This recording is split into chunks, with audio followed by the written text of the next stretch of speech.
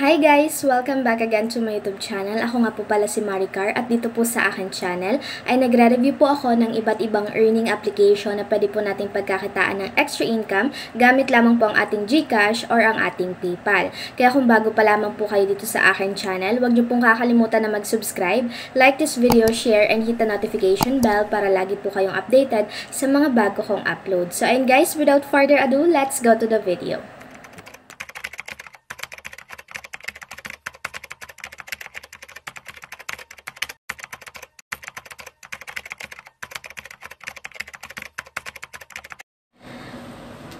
Hi guys! Welcome back again to my YouTube channel and for today's video, tuturuan ko po kayo kung paano ulit kayo magkakaroon ng extra money sa inyong mga GCash account kahit nasa bahay lang po kayo or kung wala kayong ginagawa, gusto nyo na may mapaglibangan po kayo and at the same time, gusto nyo kumita ng extra income. So, wag lang kayo mag-expect dito na makakapag-cash out kayo everyday kasi yung mga ganito pong free earning application na i-recommend ko sa inyo is hindi ganun kabilis yung uh, earnings dito. And also, kailangan syempre mag-provide man lang tayo ng at least data or nakakonect tayo sa wifi kung may wifi po tayo. Pero kung wala naman is pwede naman po tayo mag-load.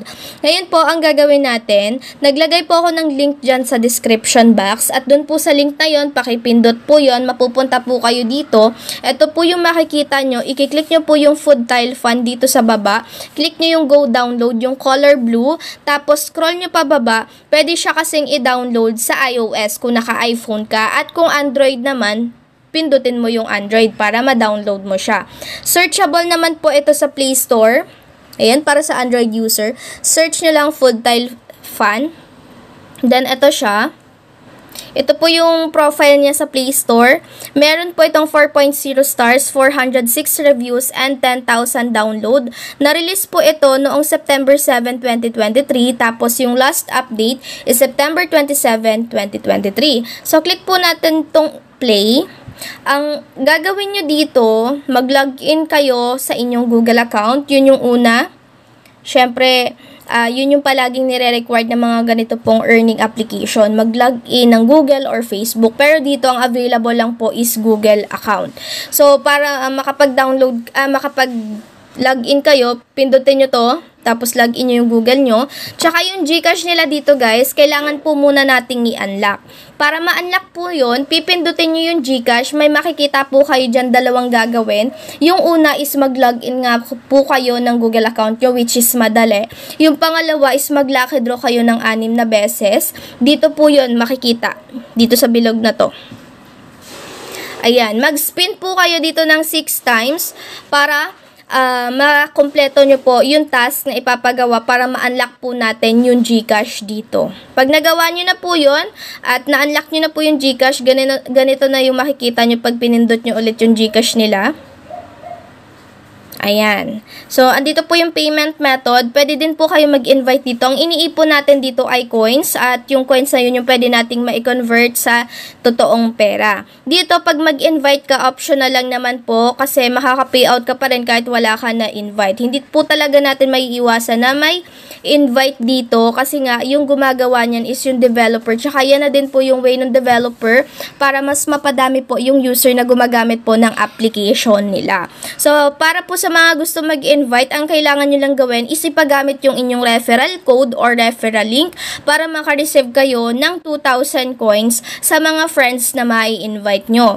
And then dito sa enter the code, once pwede po kayo makapaglagay dyan ng invitation code para makaklaim po kayo agad-agad ng 200 coins.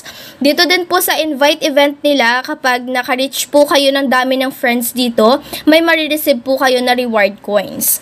Next naman po natin, Balik po tayo sa homepage. Andito pa po yung another ways of earnings. Siyempre, dito po tayo sa lucky draw nila. Pwede ka po dito maka-earn ng 8 coins up to 12 coins. Tapos, meron mga power-ups na pwede natin gamitin dun sa lalaroin natin dito sa game.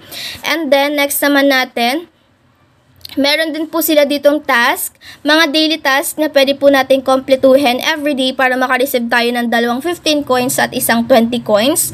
Meron din po ditong achievement task na connected po dun sa game nila dito. Kapag na-reach nyo po yung level nila dito is marireceive nyo po yung mga coins na ibibigay nila dito. Next naman po natin, ito yung laro. Ayan. Click nyo to. Nasa level 3 na po kasi ako. Madali lang naman yung gagawin natin dito. Ayan. Meron po ditong mga pagkain. Itatap nyo lang yung tatlong magkakamukha dyan, yung magkakaparehas. Uubusin nyo lang to. Tapos kapag naubos nyo na yan, marireceive nyo na po yung coins na ibibigay nila. Yan, tap-tap lang tayo, ganun lang yung earnings nila dito. Then, kapag nagawa niyo na yan, nakompleto niya na, marireceive niyo yung coins at pwede niyo siyang i-multiply sa 2 by watching one video advertisement na tumatagal po ng 30 seconds. Pero kung ayaw niyo nga po is okay lang. Then, yun lang po, bali lahat yung ways of earnings nila dito. And then, next naman po natin kapag mag-cash out na po tayo, babalik po tayo dun sa GCash. Then, pindutin po natin yung withdraw. Lima yung payment method nila dito. Ito yung sa GCash nila. Sa GCash, ang ilalagay nyo dito ay cellphone number nyo sa GCash nyo, tapos pangalan nyo sa inyong GCash account. Ito yung mga amount na pwede nyong ma-withdraw. 10 pesos, 20 pesos, 150, and 500. Kung makikita nyo, malaki yung amount ng coins para sa 500 pesos, kaya abutin kayo niya ng mga 1 month, mahigit, para maka-earn kayo ng 110,000 coins para sa 500 pesos. Kaya nga sinasabi ko sa inyo dito na walang cash out dito ng malaking amount ng money sa ilang araw pa lang na paglalaro. Kaya for extra income lang po talaga ito, hindi natin uh, pwedeng iasa yung pang araw-araw natin na pangangailangan dito. Wag po tayo mag-expect sa mga ganitong free to use earning application. Since wala naman tayong ibabayad dito, hindi yung pag-register dito libre lang, hindi mo na need mag uh, bayad pa dun sa app. Then, dito naman sa PayPal, kasi PayPal po yung gagamitin kong payment method kasi mas mababa po yung coins na kailangan mong ipunin dito para makapag-withdraw ka. And take note, yung pagdating po pala ng mga maka-cash out nyo dito ay pitong araw po.